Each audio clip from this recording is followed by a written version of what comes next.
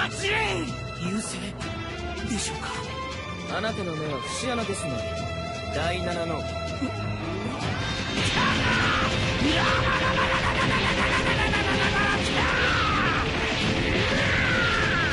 もしかしたら。もしかしたら何です？ベジータさんはジレンを相手に試みているのかもしれません。身勝手の極意なるほど。さっきのあのかわそうとする動きか。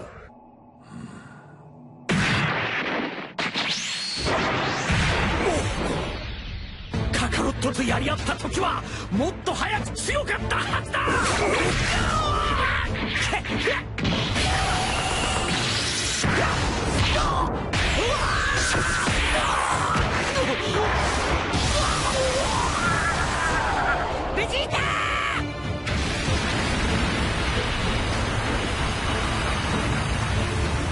こ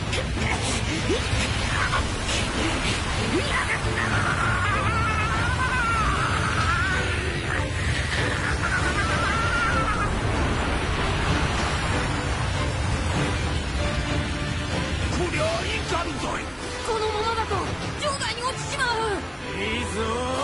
そのまま行け。